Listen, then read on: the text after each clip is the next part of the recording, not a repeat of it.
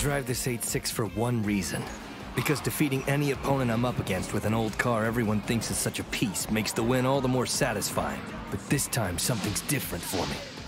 I cannot lose to another 8.6, no matter what. This is more pressure than I've felt in any other race. That's crazy. I can even see the aura radiating from your Trueno talking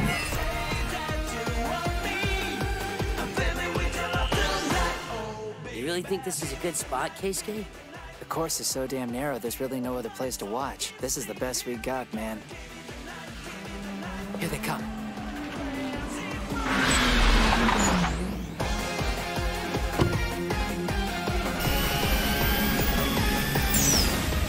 Yeah, this is it.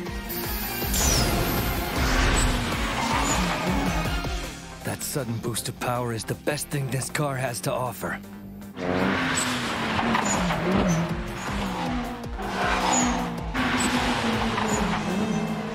There goes that obsolete boom turbo of his. Hey, I got a question.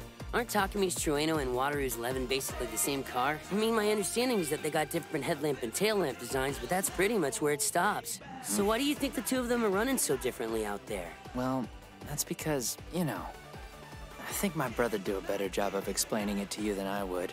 I understand it in my head, but I just can't put that crap into words as good as he can. It's like you were saying, Kenta. The Levin and the Trueno are like twin siblings.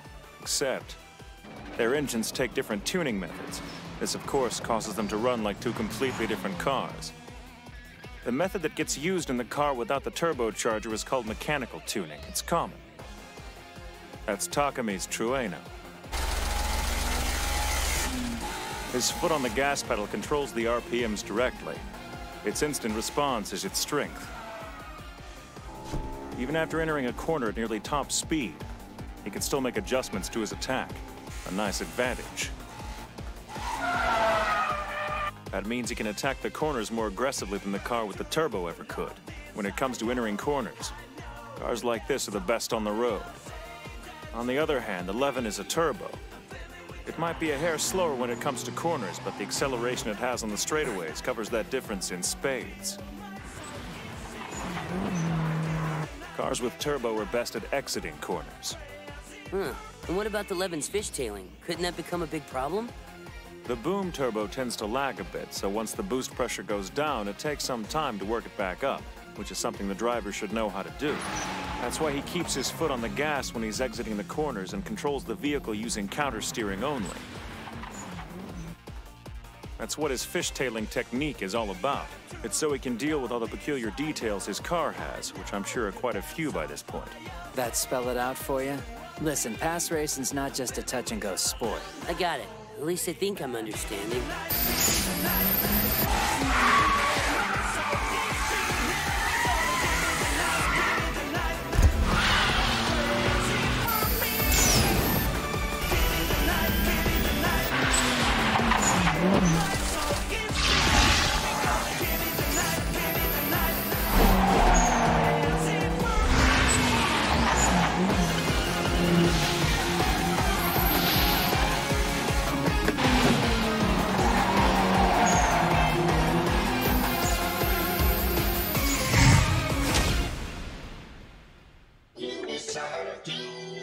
Initial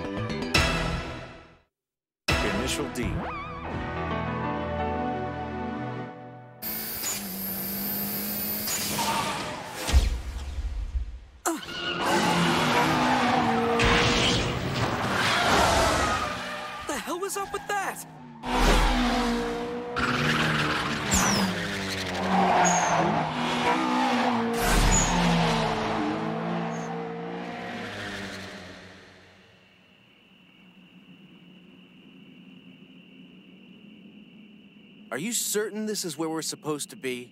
Yeah, I think. That's what he told me. What's that sound? That's them.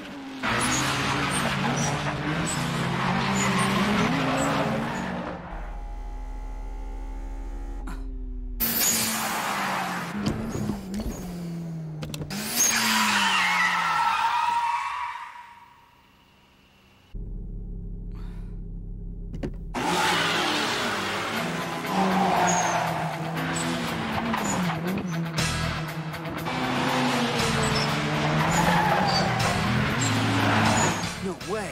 That was a boom turbo. It looks out of control the way it's moving. That's gotta be dangerous. The road's so narrow, he's barely staying on it, like he's sliding down the edge of a knife. But man, when he's on, he's faster than any car out there.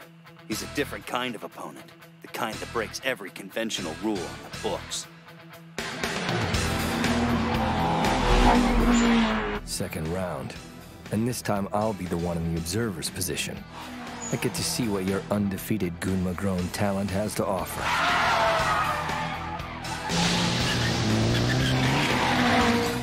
This again. Man, this corner sucks. Right now, every element that could line up against Takumi is doing exactly that. A horribly tricky course that he's got no experience on. And there's the Levin's irregular pace that jumps in and breaks his rhythm. But above everything else, he's got that big uneasy feeling in his gut. He's still not used to the new 8-6. Her handling's still a mystery to him. And that's his biggest handicap. These conditions are crap. My car is shaking all over the place.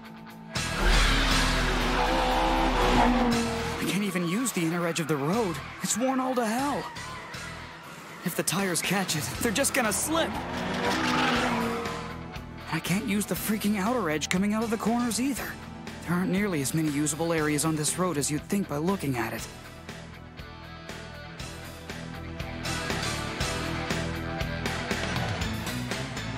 Takumi, if you hadn't figured it out, you better fast. The suspension settings change based on the power coming out of the engine. After I installed the new one, you kept saying to me you couldn't corner like you used to be able to, which makes perfect sense.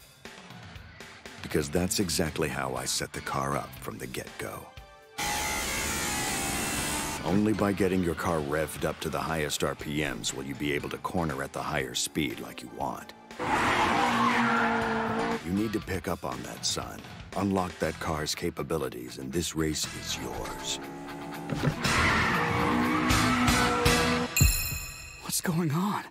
Did I just imagine that?